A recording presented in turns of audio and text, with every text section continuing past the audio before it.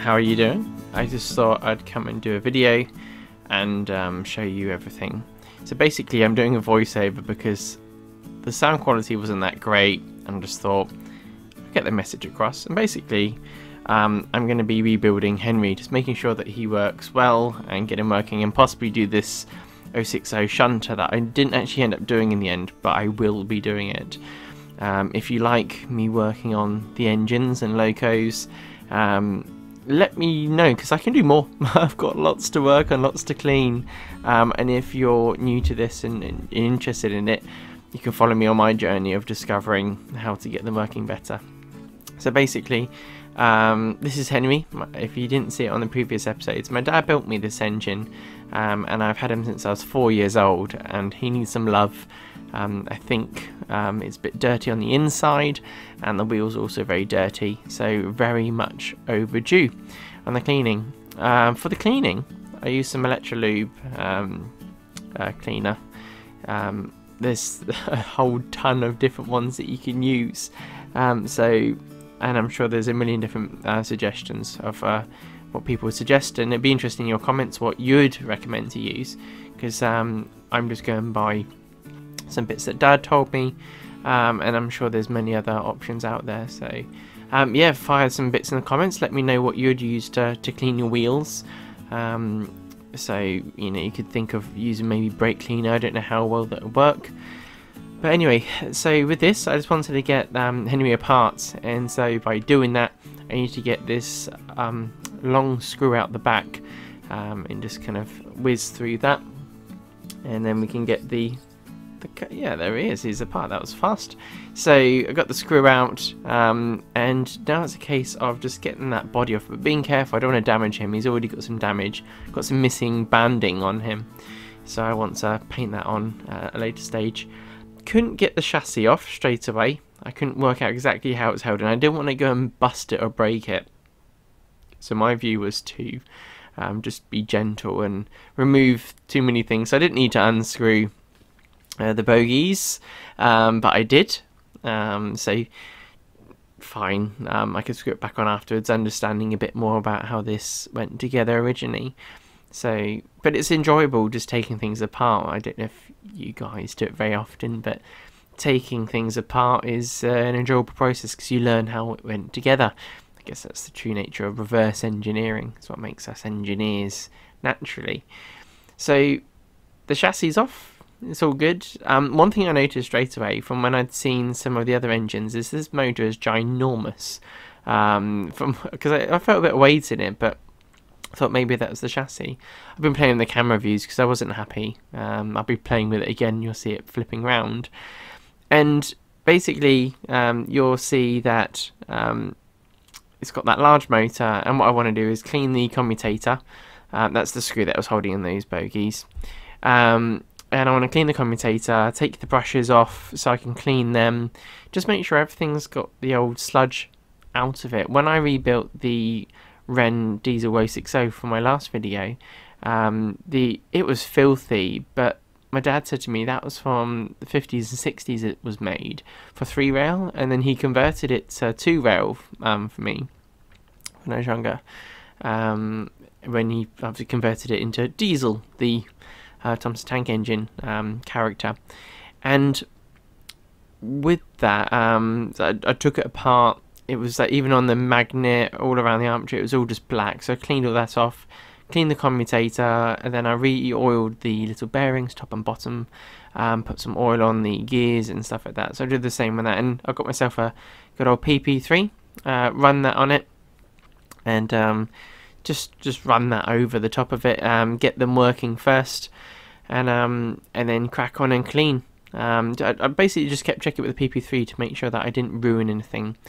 And now I got my Electrolube and I'm cleaning it with loads of earbuds and you can see just how black those earbuds are getting.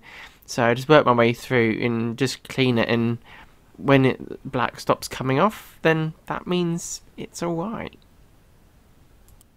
So really just watching it through um, you'll see what I'm doing basically removing things that can remo- be re- removed, um, giving them a clean up, putting some bearing oil on bits that move, being really careful not to get them onto areas that might ruin things or drip through. So just being really careful. I'm using my scalpel blade just to kind of hook off some bits that really don't want to work, uh, like get clean.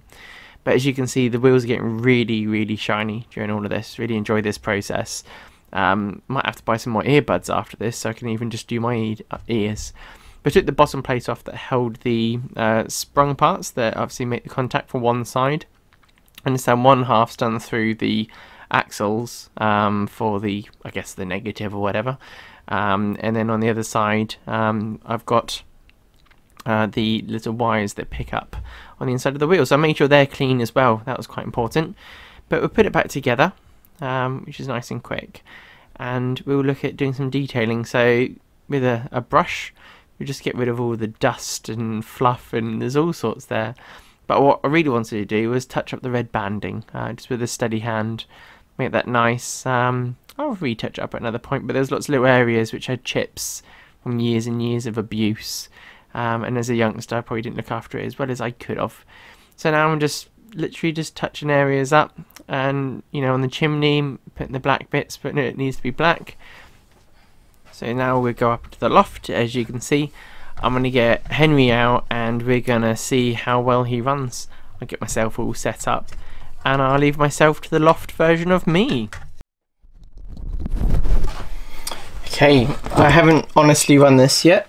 So we just I just thought I'd turn the lights on the loft. Let's get up here.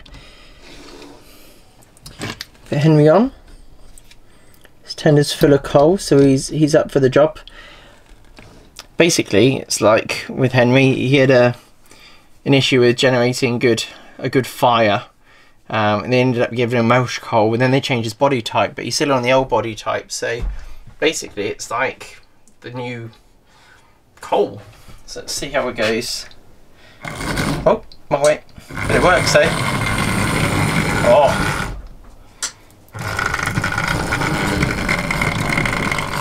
can go nice and slow Oh, didn't like that.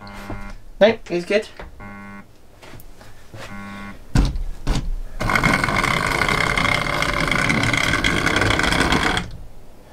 Very happy with that. Oh, we've got to the joint. Doesn't like the joint. Should we get him to pull some cages? If I spin him round, we can go and pick up the cages. They're waiting for him over here. is we'll put camera up here. And we'll get a good view of down here. How we're looking we go on 16 mil. Right. Oh no wait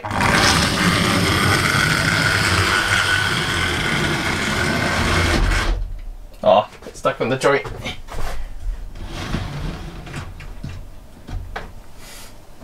I have to run a bit of speed in this one.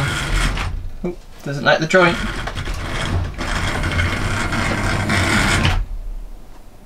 Ah. It's the power supply on the joint this one. Ah.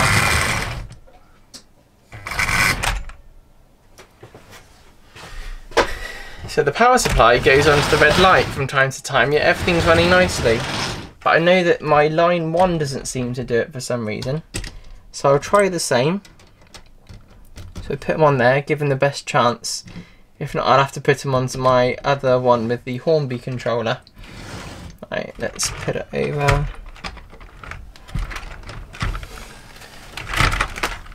Put all these over. Ooh.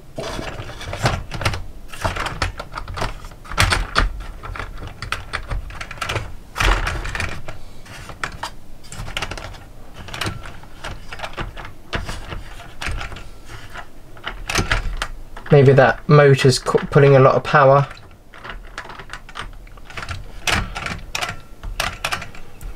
Right, I think we're all connected. I believe so. Right, let's try it on the first line. I'll have to move these wagons out of the way.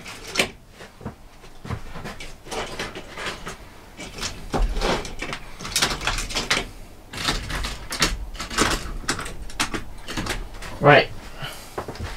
See if line one works out nicely for it. Yeah. It's cool.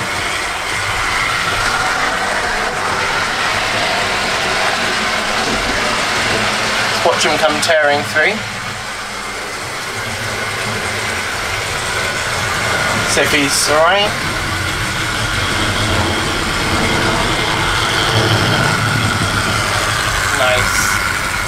live camera.